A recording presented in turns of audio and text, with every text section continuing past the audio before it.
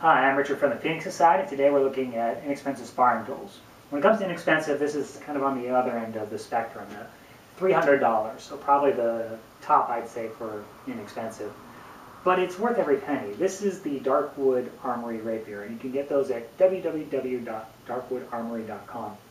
Item retails for around $300. Price goes up though because you can add various goodies and finishes and whatnot to it. This is the most simplistic version I could get. Uh, Pappenheimer hilt with nice speed holes. It has pretty strong quillions. The blade is really neat.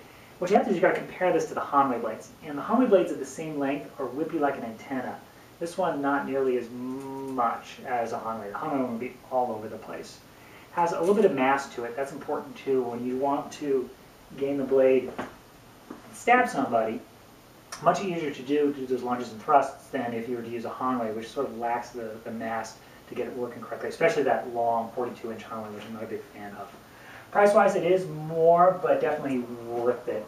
So I can't recommend these enough for your simplistic rapier needs. It's $300 Econo blade from darkwoodarmory.com.